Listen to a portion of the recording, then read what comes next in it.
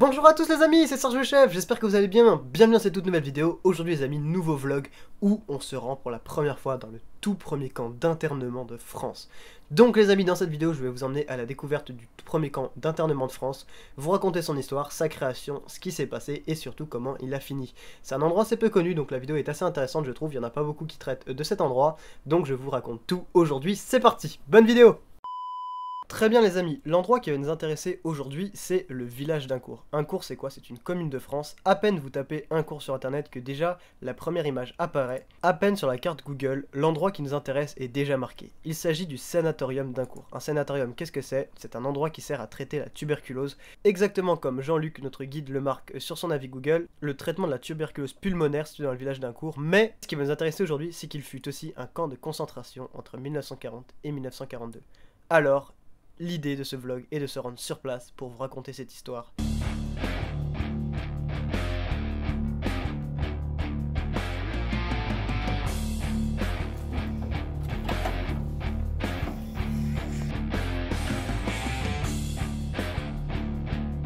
Donc là les amis, dans un premier temps, on va se rendre directement euh, au centre hospitalier d'Incourt et euh, juste après on pourra euh, du coup déboucher vers le camp qui nous intéresse en question qui est aujourd'hui abandonné. En effet, le meilleur moyen de se rendre au sanatorium d'Incourt, c'est de se rendre d'abord à l'hôpital d'Incourt, encore en fonction aujourd'hui. Car oui, le sanatorium ne fonctionne plus, il est abandonné car la tuberculose est une maladie qui a été soignée depuis. En revanche, un centre hospitalier est toujours d'actualité à Incourt et le mieux est de s'y rendre là-bas pour pouvoir accéder au sanatorium. Donc là les amis ça va rappeler un tout petit peu le trajet qu'on a fait pour la Fontenay-Saint-Père pour la vidéo sur le Tigre 2 parce qu'en fait on va repasser par Limay pour aller cette fois à un cours mais c'est sur le trajet aussi de Fontenay-Saint-Père donc le paysage peut sembler euh, vachement similaire à ce niveau là mais c'est vachement sympa en tout cas.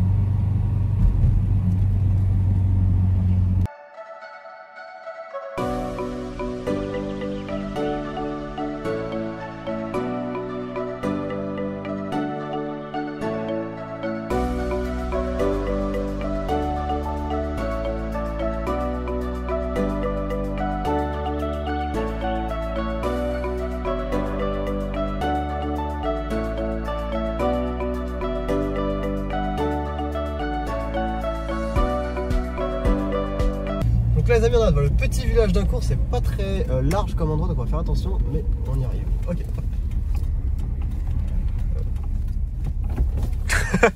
J'ai perdu avec une vitesse. Donc là vous voyez encore une fois c'est bien en rapport avec le Vexin, c'est une région assez naturelle, assez boisée. L'hôpital est même quasiment dans les bois juste à côté en tout cas donc c'est un endroit assez discret, assez caché.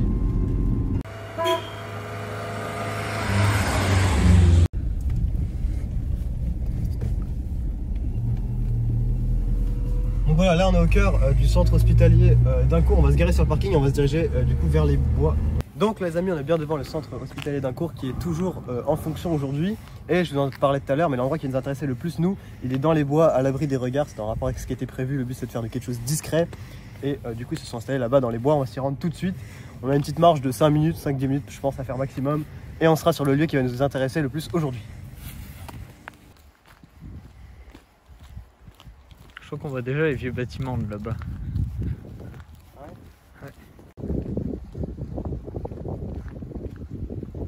Donc là les amis à ma droite on arrive vers le euh, sénatorium d'Incourt. Donc sénatorium pour ceux qui ne savent pas c'est pour soigner la maladie de la tuberculose à l'époque. La maladie de la tuberculose à l'époque qui était une maladie assez dangereuse car elle pouvait tuer. Elle attaquait principalement les poumons et les organes.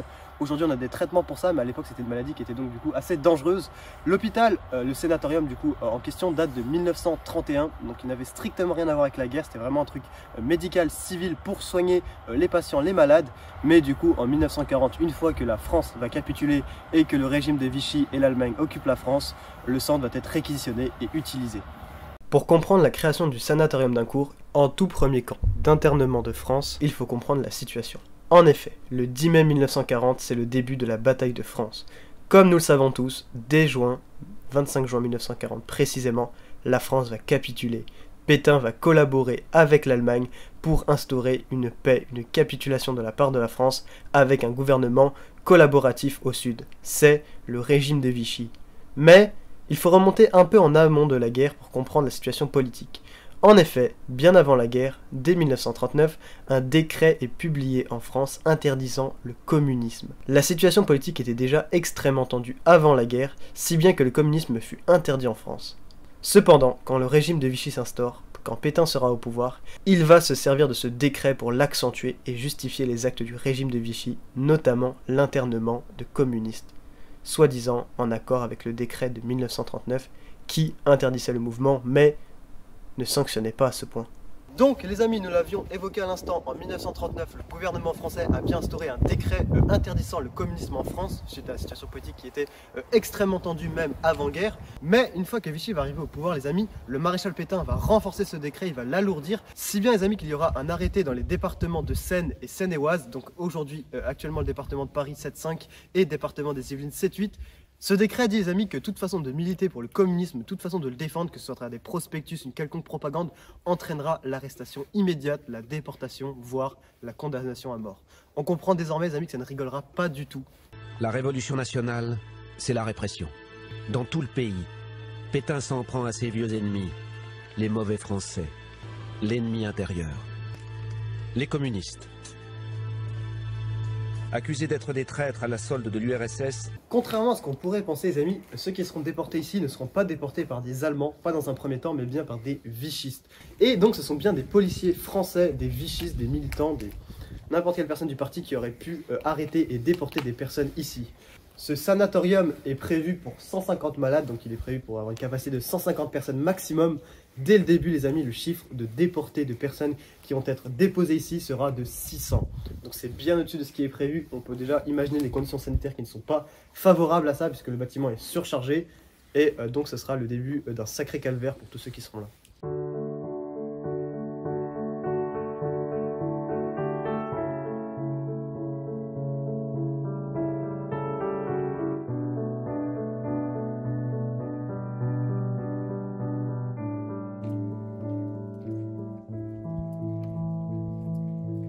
C'est difficile d'imaginer que 600 personnes étaient ici, étaient regroupées ici, c'était extrêmement surveillé. Aujourd'hui, la nature a complètement repris le dessus, mais je peux vous assurer qu'à l'époque, ça ne rigolait pas, il y avait beaucoup de gardes, il y avait beaucoup de personnes pour surveiller. Donc le camp, bien que caché dans la forêt, encore une fois le but c'était d'être discret sur ce qui se passait, il était euh, extrêmement surveillé et extrêmement surchargé. En effet, comme je le disais à l'instant, le but était de rester discret. Un cours n'a pas été choisi au hasard. Il s'agit d'un endroit à l'abri des regards, discret, dans les bois, comme on a pu le voir. En effet, si le communisme a été interdit et que cette loi a été renforcée par Pétain, ce n'est pas pour rien. Le communisme était un parti très puissant en France qui euh, comportait de plus en plus d'adhérents au fur et à mesure des années. Il s'agissait d'un contre-pouvoir pour Pétain, et puis même, vous vous doutez bien que le régime de Vichy plus l'occupation allemande, ça ne fait pas l'unanimité en France, les contre-pouvoirs se mobilisent. Ainsi, dès août 1940, les premiers camps de déportation et d'internement en France vont ouvrir. On se rend rapidement compte qu'au-delà des communistes, il y a aussi des syndicalistes, des élus locaux, des contre-pouvoirs, des députés politiques, des immigrés qui sont rapidement internés dans ces camps. En effet, c'est la Sicherheitspolizei allemande, la SIPO comme on l'appelle, une police de sûreté allemande créée en 1936 par Heinrich Himmler, qui regroupe Polizei mais aussi Gestapo et toute euh, police euh, de sûreté, qui euh, va confier au régime de Vichy la tâche de déporter, de gérer, de s'occuper des opposants, même en zone occupée. L'idée de la CIPO est dans un premier temps de faire bien voir l'Allemagne et de filer le sale boulot entre guillemets aux vichistes. Comme je l'ai dit, il faut rester discret sur ce qui se passe. C'est très dur les amis aujourd'hui de situer euh, et de surtout de retrouver quelle pièce correspondait à quoi, mais on pense que vraiment il devait être attroupé par pièce. Je sais pas s'il y avait dans une sorte de, de salle de rangement, dans une sorte de, salle de lit superposée. En tout cas, ça a l'air de dater, de beaucoup daté. Encore une fois, de base, c'était vraiment un hôpital, donc il y avait du matériel médical, beaucoup de lits pour tout ça. Mais ça a été rapidement surchargé et euh, rapidement, on va dire, utilisé comme un camp de déportation, tout simplement le premier de France, les amis. On peut supposer ici que c'était une sorte de grand couloir où tous les matins, euh, tout le monde devait sortir pour se regrouper dans la cour pour faire le fameux appel, comme on en parlait tout à l'heure mais euh, on voit vraiment l'atmosphère, on va dire, un peu sombre de l'endroit, il est assez mystérieux, parce que finalement, on en parle assez peu aujourd'hui, et euh, on peut ne pas comprendre à quoi ça correspond à l'époque, mais euh, c'est vraiment un endroit, on va dire, qui, a vécu des heures, je pense, très sombres ici. Ici, on arrive à identifier une salle de toilette, visiblement, voit encore la tuyauterie, mais les espèces de chasse d'eau, je pense qu'on peut dire. Donc là, les amis, on a réussi à identifier un ancien ascenseur. Là, juste ici, on a les escaliers qui montent sur plusieurs étages. C'est un bâtiment qui monte très haut, un peu comme une tour finalement. Et euh, donc on en parlait tout à l'heure, c'est bien Vichy qui va gérer ce coin, notamment le commissaire André qui va gérer commissaire André. On n'a pas réussi à vous trouver une photo, ça a été très dur de l'identifier, mais d'après toutes les sources, évidemment si on peut vous raconter ça aujourd'hui, c'est grâce aux sources, grâce aux survivants qui auraient pu euh, raconter toute cette histoire. Je pense notamment à monsieur Fernand Deveau qui a été euh, interné ici parce qu'il était euh, militant du communisme à l'époque et évidemment c'est ce qui ne plaisait absolument pas. Donc il nous a témoigné que le commissaire André euh, gérait tout le secteur, tous les lieux et euh, ce qu'il en ressort de ce fameux commissaire André, c'est que c'était tout simplement une personne qui ne rigolait pas du tout. Encore une fois, la confusion est énorme car ce sont des Français qui internent d'autres Français et c'est ça qui est le plus dur dans cette histoire, c'est ça qui est, on va dire, qui énerve le plus, c'est de se dire que ce n'est même pas des, occupants, parce qu'on est en zone occupée, mais bien des vichistes qui vont gérer les lieux. Encore une fois, c'est ce qui était prévu par l'Allemagne. Le but de l'Allemagne, c'était pas de se faire remarquer. Donc, on a laissé le gouvernement collaborateur, même en zone occupée, euh, gérer, cette sorte de prémisse de la déportation.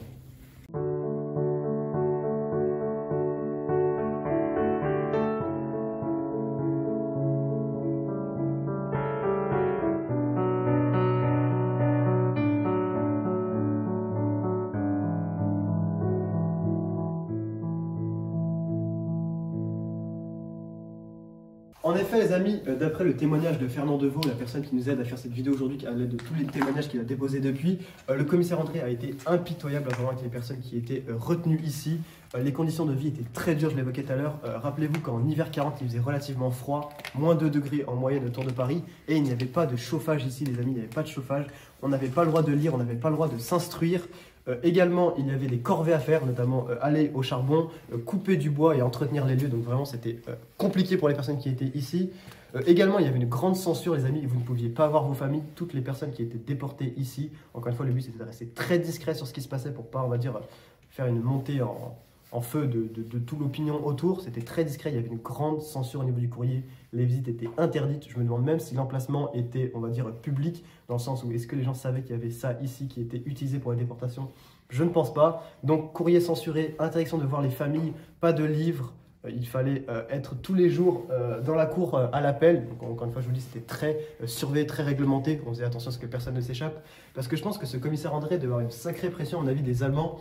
donc on a passé la CIPO, le service allemand qui gérait tout ce qui est Gestapo, tout ça, qui devait mettre une grosse pression au niveau de la surveillance. Ça aurait mal foutu, je pense, qu'un vichiste laisse partir des résistants. Donc on est dans une situation extrêmement confuse. Je pense, vous devez vous dire, mais que fait la résistance locale? Car en 40, ça avait déjà commencé, il y avait déjà des mouvements communistes qui s'agitaient. Est-ce qu'ils ont agi ou pas contre ce fameux commissaire, contre ce fameux bâtiment? La réponse est oui, les amis, mais encore une fois, je vous le dis, la situation était extrêmement confuse. Je ne pense pas que l'ordre du jour était un assaut, était une libération, mais bien la négociation des pourparlers. Euh, les militants communistes, notamment le, PCF, le Parti communiste français, qui s'organise de manière clandestine, va mettre une grosse pression sur le commissaire, notamment au niveau des lettres, au niveau de tout ce qui peut être négociation, pour justement au moins autoriser des visites et au moins mener la vie, on va dire, de manière un peu plus euh, légère à toutes les personnes qui étaient là. Encore une fois, j'insiste beaucoup avec le terme situation confuse car c'est la réalité. Rappelons-le, nous avons affaire à des Français qui internent d'autres Français, vichissent contre euh, personnes militantes d'autres partis politiques. Donc on va privilégier une négociation plutôt qu'un conflit euh, direct avec ces forces-là, même si on sait que c'est des forces euh, qui collaborent. Ensuite, le second problème, c'est tout simplement que la résistance n'est pas organisée, les amis. Nous sommes en 1940, la France vient à peine de capituler, certes les premiers camps ouvrent, certes la situation est déjà très tendue avec Vichy, mais notre résistance n'est pas encore organisée. Il faudra attendre 1941 jusqu'à 1943 pour que la résistance s'organise et devienne encore plus efficace qu'elle ne l'est déjà. C'est notamment la mission euh, que portera Jean Moulin durant euh, toute la Seconde Guerre mondiale, celle de se déplacer en France pour essayer d'unifier la résistance autour de De Gaulle et pouvoir mener des actions encore plus coordonnées et encore plus puissantes. Ami, entends-tu le vol noir des corbeaux sur nos plaines? Ami, entends-tu ces cris sourds du pays qu'on enchaîne? Donc notre résistance euh, clandestine communiste va évidemment essayer de faire au mieux pour aider les personnes internées. On pense notamment euh, à des lettres, à des colis, à tout simplement se rendre sur place discrètement pour essayer de remonter le moral, d'encourager les personnes internées à tenir bon, de parler un peu des familles, et même encore une fois d'entrer en contact avec les personnes qui gèrent les lieux, notamment ce fameux commissaire André, pour lui mettre une pression euh, pour qu'il cède tout simplement et rendre la vie un peu meilleure, comme je le disais, notamment au niveau des familles, que les familles puissent au moins voir euh, les personnes internées, ou que même le courrier arrive à destination et que tout simplement euh, les conditions soient meilleures. Encore une fois les amis, le regard que vous avez sur ce bâtiment noter avant tout que c'était un bâtiment qui a été fait dans un but hospitalier, dans un but de soigner la tuberculose. Ça n'a pas été construit uniquement pour déporter. Ça a été utilisé pour déporter, mais tous les bâtiments qu'on voit là étaient prévus soit pour des opérations, soit pour des lits de malades. Mais évidemment, ça a été déformé. Mais gardez bien à l'esprit, les amis, que toute la bâtisse qui a été construite ici n'était pas faite de base pour déporter. Ensuite, pendant la guerre. Ok les amis, je pense que je suis devant une des grandes euh, entrées du camp. C'est très dur d'identifier euh, tout ce qui pouvait être court à l'époque, là où étaient placés les gendarmes, là où étaient placées les personnes qui étaient euh, retenues ici.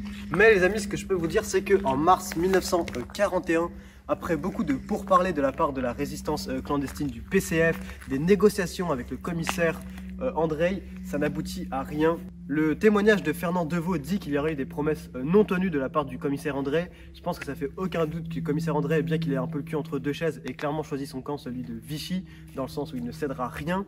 Donc les amis, en mars 1941, les pourparlers c'est fini et euh, c'est à l'intérieur du camp les amis qu'on va se révolter et c'est là où ça devient on va dire assez euh, tendu.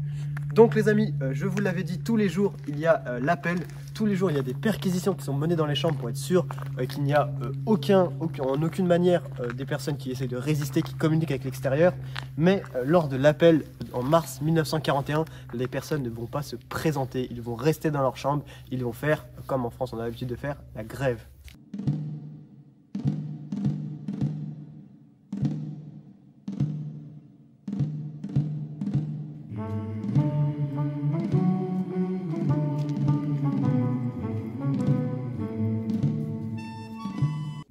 Les amis, face à cette grève de mars 41 où personne ne se présente, chacun reste dans son bâtiment, le commissaire euh, André va entrer dans une colère folle. Il va tout simplement regrouper tous les gendarmes équipés de fusils d'assaut, fusils mitrailleurs. Donc vraiment, ils sont pas armés dans le bâtiment, mais là, tous les gendarmes se préparent au pire. Je pense qu'on redoute tous le pire. Donc il aligne tous les gendarmes, il prépare tout le monde. Et euh, le commissaire André va entrer dans le bâtiment et essayer de mettre la pression maximum à toutes les personnes pour stopper la grève. L'intimidation du commissaire euh, André, André comme vous voulez, ne marchera pas. Ils vont rester faire grève, donc là il se met dans une colère folle. Il va euh, essayer euh, d'isoler, donc d'enfermer dans d'autres bâtiments, dans des endroits beaucoup plus sombres, je pense, les meneurs, ceux qui auraient eu l'idée de cette grève, tout simplement pour saper le moral de tous les grévistes. Donc au final, ce sera en tout 57 personnes qui seront isolées dans un bâtiment, sans couverture, sans rien, juste du pain et de l'eau pour survivre, afin de stopper la grève, mais ça ne marchera pas, la grève continue. Les personnes qui ont été euh, isolées seront finalement euh, déportées dans d'autres camps, notamment Châteaubriand ou encore Compiègne. Mais il n'en reste pas moins une grande solidarité de la part de tous les grévistes qui continuent par solidarité euh, aux personnes qui sont déportées, tout simplement pour montrer leur protestation. c'est ce que je disais tout à l'heure, ça fait bien.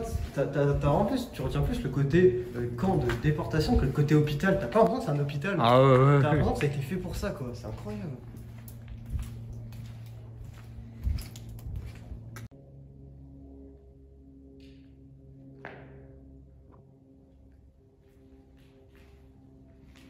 La grève perdure donc, les amis. À l'extérieur, les résistants, les communistes, le PCF ne cèdent rien. Ils continuent euh, de soutenir les personnes à l'intérieur, notamment en, s'approchant, en essayant de faire passer des tracts, des prospectus, des visites clandestines pour justement faire tenir le moral des personnes présentes ici, mais aussi, je pense, pour rassurer les familles. La grève continue, les amis. On ne cède rien, si bien que le commissaire André finira lui-même par céder et les visites seront enfin autorisées.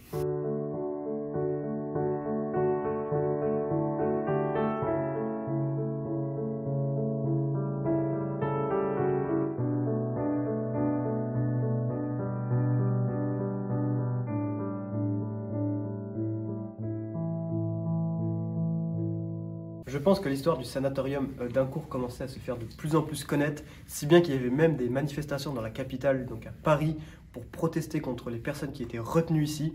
Le commissaire André a donc bien cédé. C'est une sorte d'espoir. L'histoire est assez poignante, les amis. Ça fait presque huit mois que certains n'avaient pas pu voir leur famille. Il y avait une grande censure du courrier. On ne pouvait pas se documenter, on ne pouvait pas les voir. Les familles arrivent à se revoir.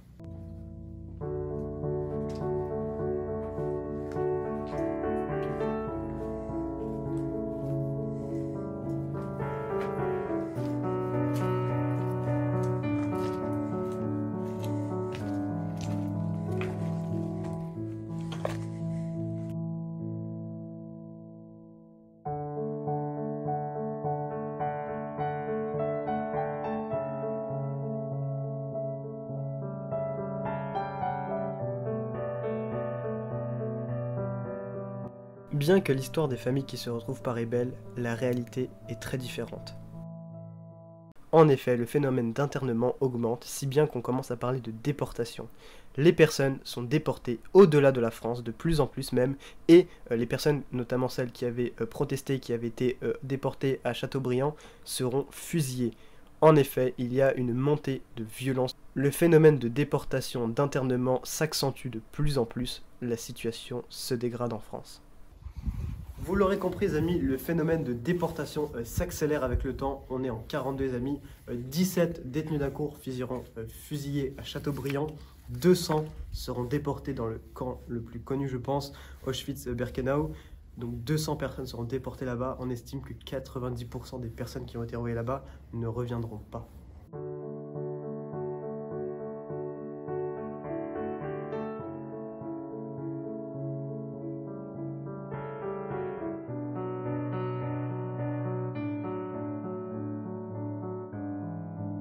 Le 12 mai 1942, après de longues déportations, le camp des hommes ferme définitivement. Il n'y a plus d'hommes ici, c'est fini.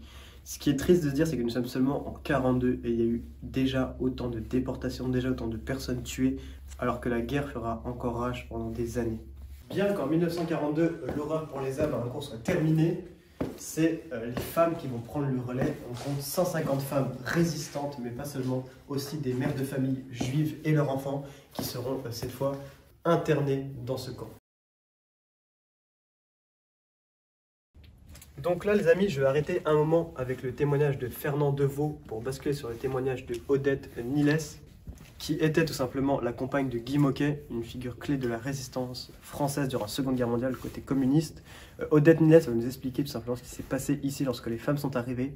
Elle serait arrivée tout simplement par l'entrée principale en chantant la Marseillaise en signe de protestation contre le gouvernement collaborateur, contre le gouvernement de Vichy. Et je pense qu'à ce moment-là, les gardes ont dû se sentir très cons finalement, puisque ce sont encore une fois des Français qui arrêtent des Français. Et donc là, en chantant la Marseillaise, c'est tout simplement un chant qui est censé unir le peuple. Enfants de la patrie, le jour de gloire est arrivé contre nous de la tyrannie. Donc le commissaire André face à ça il va très mal le prendre pour lui c'est une grosse provocation.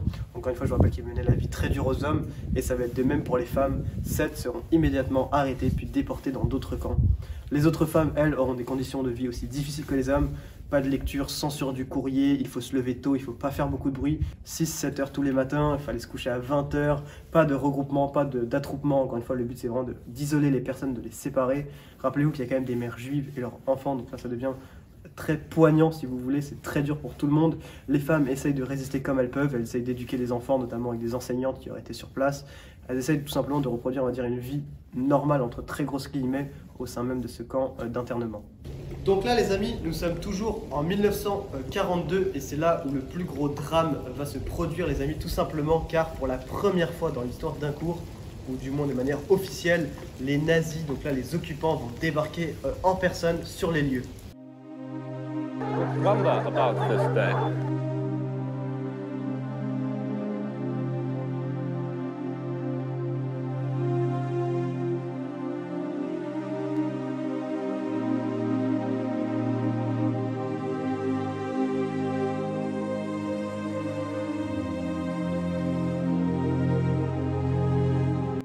La pression doit être énorme car ce n'est plus les collaborateurs mais bien les occupants, personne qui débarquent. Les nazis ne viennent pas pour rien, ils viennent tout simplement pour s'en prendre à tous les juifs présentes. Ils vont déporter, emmener avec eux toutes les femmes juives. Donc les enfants sont séparés de leur mère dans le camp. Je pense que c'est une histoire qui est relativement tragique ce jour-là. C'est notamment ce que témoigne encore une fois notre résistante. Donc les mères et les enfants sont séparés ce jour-là. Les mères sont emmenées. Les résistantes vont essayer dans un premier temps de s'occuper des enfants juifs Malheureusement, ils seront eux aussi à leur tour emmenés. Donc les mères et les enfants sont déportés. On ignore là où ils ont été déportés, probablement au camp de Drancy pour finir dans un crématorium.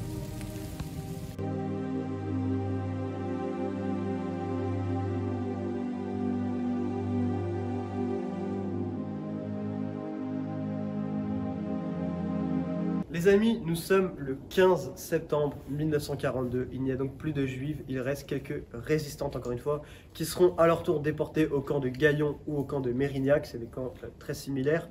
Donc les amis, le camp est maintenant vide, nous sommes en 42, le camp va fermer tout simplement parce qu'il n'y a plus de personnes à interner dans le coin ou même qu'on va les déporter euh, ailleurs pour la suite.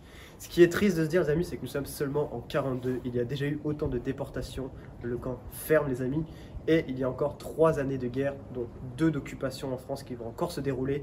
Donc on peut imaginer que pendant ces deux années-là, partout ailleurs, ce genre d'histoire a continué de se propager, ce genre d'histoire similaire a continué.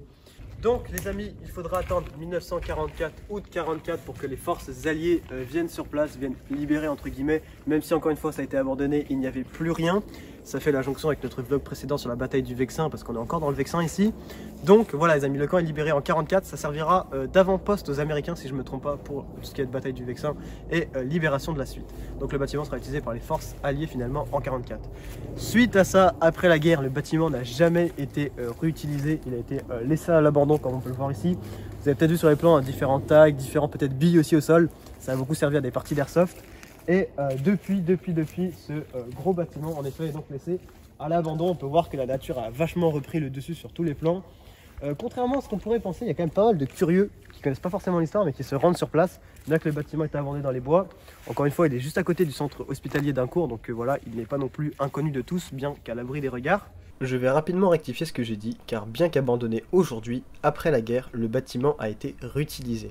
En 1946, en effet, le sénatorium ouvre ses portes, non plus pour la tuberculose, mais pour cette fois un bloc opératoire. Tout au long des décennies, le sénatorium évolue. Par exemple, en 1975, il devient un centre de rééducation fonctionnel. Mais, comme il est précisé sur la page Wikipédia, au cours des années, les bâtiments semblent de plus en plus inadaptés et, il faut bien le dire, vieillissent de plus en plus. Donc, à partir de 2001, l'ensemble des bâtiments semble abandonné, à part un certain pavillon qui serait encore aujourd'hui sous le contrôle du centre hospitalier euh, d'Incourt euh, du Vexin. On remerciera énormément euh, Fernand Deveau et Odette qui nous aura beaucoup aidé à témoigner, à nous expliquer cette histoire. S'ils n'avaient pas survécu à la guerre, s'ils n'avaient pas survécu à la déportation, je pense notamment à Fernand Deveau qui a été à Auschwitz, qui a survécu, on n'aurait peut-être jamais pu retracer aussi facilement l'histoire, on n'aurait jamais peut-être eu autant d'explications, autant de détails sur ce qui s'était passé ici dans ce sénatorium d'Incourt. Concernant son avenir, les amis, évidemment, c'est un site qui est classé aujourd'hui pour son histoire, pour, euh, son ancienneté aussi finalement. Mais euh, je trouve ça un peu dommage, de mon avis personnel, encore une fois, c'est quand même un petit il y a toujours une partie frustrante. C'est que euh, les bâtiments vont tout simplement être réhabilités, détruits, je ne sais pas, mais tout simplement transformés en logements de luxe dans les années à venir. Donc ce paysage, bien que assez obscur finalement, sera amené à disparaître pour laisser place à des immeubles. Je pense que ce vlog était vachement intéressant car c'est quand même l'un des tout premiers, voire le premier d'après ce qu'on a vu, camp d'internement dans toute la France. Je pense qu'il est très peu évoqué aujourd'hui parce que finalement il n'y a pas eu de combat, il n'y a pas eu vraiment de libération dans le sens où T42 s'est abandonné, mais il a quand même eu, je pense, un rôle majeur et un rôle assez horrible durant la guerre. Donc voilà, le vlog était intéressant dans le sens où on a pu l'évoquer, on a pu vous le présenter. Peut-être que vous ne connaissez pas, à vous de nous le faire savoir, mais en tout cas il est bien encore aujourd'hui ici à un cours visible à tous et euh, voilà, je trouve ça quand même assez dommage qu'un lieu si historique, un lieu du patrimoine français, soit autant peu connu, soit autant, euh, on va dire, oublié peut-être d'un certain côté. Mais du coup, voilà. Ils vont raser surtout. Enfin, ils vont construire des hôtels. Hein. Ouais, voilà, après, c'est dur de dire est-ce qu'un endroit abandonné comme ça doit rester abandonné? Moi, je pense qu'il a des valeurs c'est incroyable. Et comme tu dis, Matt, c'est vrai qu'ils vont faire des hôtels et tout, et que peut-être un jour on pourra plus le voir. Donc, je pense que si on va en profiter, c'est peut-être aujourd'hui qu'il fallait le plus le faire. Et nous, on est content d'avoir réalisé cette vidéo parce qu'on savait pas qu'il allait être détruit encore aujourd'hui, on a la chance entre guillemets de se rendre sur les lieux, évidemment, parce que ça a quand même une sale histoire. Mais au moins, vous pouvez, on va dire, la vivre, vous pouvez la traverser en venant ici. Donc n'hésitez pas, on va dire, si vous aussi, tout simplement, si vous aussi voulez vous renseigner ou si vous aussi vous voulez visiter, euh, c'est totalement ouvert à tous. Profitez-en. Une fois de plus, c'est vrai que je trouve que nous avons affaire à un sacré bout d'histoire et que même si le bâtiment n'est pas détruit mais tout simplement réhabilité, eh bien ça reste assez tragique pour le patrimoine. En ce qui concerne l'emplacement du sénatorium d'un cours, encore une fois je vous parlais du centre hospitalier qui est ici, mais euh, le sénatorium qui est plus indiqué est un sénatorium qui est plus bas. Tout simplement pourquoi? Car si je change de vue, on peut s'apercevoir qu'il y a plusieurs sanatoriums un cours. Celui-ci vous sera indiqué comme le monument en question, mais nous nous sommes rendus à un autre qui était plus caché, donc en prenant la route de l'hôpital par la forêt, cette route boisée, c'est celui-ci. En réalité, le camp euh, d'internement d'un cours, c'était euh, plusieurs sénatoriums. Il y avait celui-ci, celui-ci et même, je crois bien, un troisième. Toute la zone était le camp d'internement. On a fait le choix de vous montrer celui-ci car je trouvais le décor intéressant, l'histoire assez intéressante et son emplacement intéressant dans les bois. Mais encore une fois, vous pouvez aussi très bien vous rendre sur celui-ci qui est peut-être, on va dire, un peu plus dégagé au niveau de la vue. Voilà. Avec cette chaîne, on a un tigre 2 à déterrer, un tigre 1 à repêcher. Allons-nous avoir maintenant un bâtiment à sauver, les amis? Je ne sais pas. N'hésitez pas à dire votre avis en commentaire, ce que vous en pensez. Bonne ou mauvaise idée cette réhabilitation Ou est-ce que c'est un gâchis? Encore une fois, il faut rester neutre par rapport à la situation, mais votre point de vue est très intéressant l'endroit.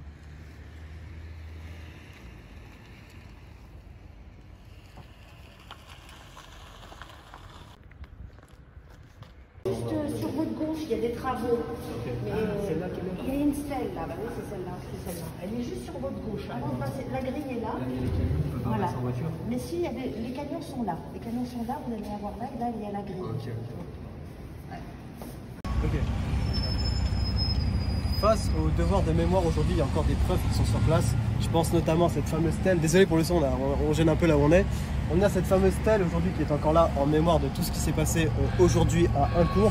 Donc encore visible sur place, encore entretenu. Il y a encore notamment des cérémonies, comme on a pu le voir à un cours, qui ont encore lieu. En ce lieu, on interne de nombreux pa- patriotes et résistants, euh, femmes et hommes. La plupart d'eux furent fusillés ou déportés vers les camps de la mort et les occupants nazis et leurs euh, complices français. Leur action et leur sacrifice ont contribué à la victoire pour le rétablissement de la liberté, de la démocratie et de la paix. Souvenons-nous. Donc comme je le disais, encore des cérémonies aujourd'hui, encore euh, tout un, un rituel qui est organisé, notamment à l'époque où il y avait encore les témoignages. Malheureusement, les personnes qui ont témoigné, euh, dont on s'est inspiré pour réaliser cette vidéo, sont décédées aujourd'hui.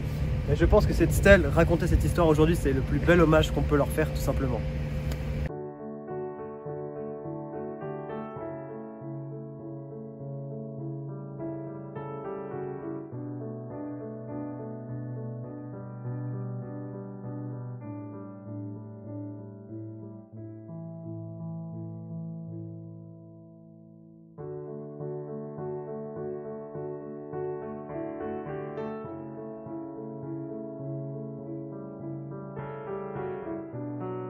Vous vous posez probablement une toute dernière question qui est totalement légitime.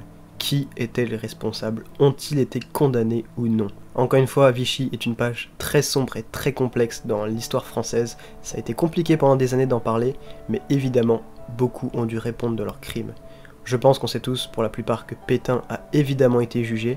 D'ailleurs, il sera, grâce à De Gaulle, épargné d'une condamnation à mort pour ce qu'il avait fait durant la Première Guerre mondiale, mais en ce qui concerne ce fameux commissaire André qui a mené la vie si dure, encore une fois, comme je le disais au début, il est impossible de trouver quoi que ce soit sur lui. L'histoire est très floue, ou l'histoire euh, manque à son sujet. Aucune photo, aucune trace, rien. Donc je ne peux pas vous dire ce qui est devenu ce commissaire André, j'aurais bien aimé savoir.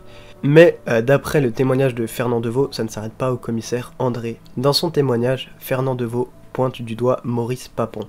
Maurice Papon, ce qui fera d'ailleurs scandale, c'est que c'est un haut fonctionnaire d'État français. Il sera député français, ministre du budget sous Giscard.